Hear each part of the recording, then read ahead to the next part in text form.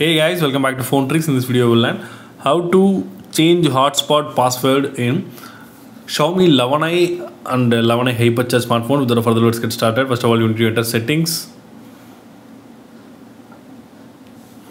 Then you need to click connection and sharing from here. Then you need to choose portable hotspot.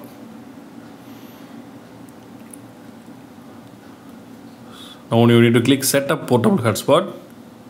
So there is a default password available in for each and every phone. This one is very difficult one. If you want to change that you can remove the old password and enter your new password from the menu.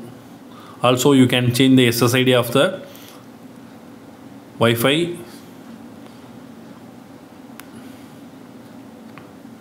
Then you need to click the check mark now we need to enable the portable hotspot from here.